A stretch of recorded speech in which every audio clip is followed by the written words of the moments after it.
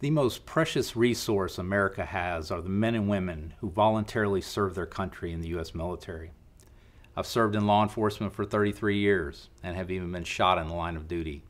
I know the stress and split second decisions law enforcement officers make, but these decisions pale in comparison to the daily situations our soldiers must make in a war zone in the Middle East.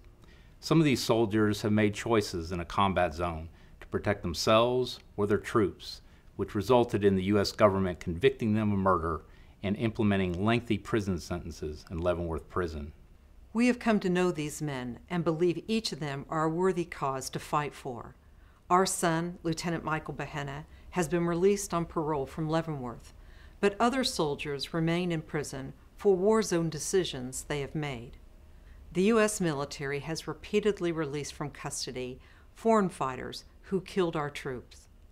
These terrorists, captured by our troops, are released on a pledge that they will not return to the fight, but we know that our troops have fought the same men on multiple occasions.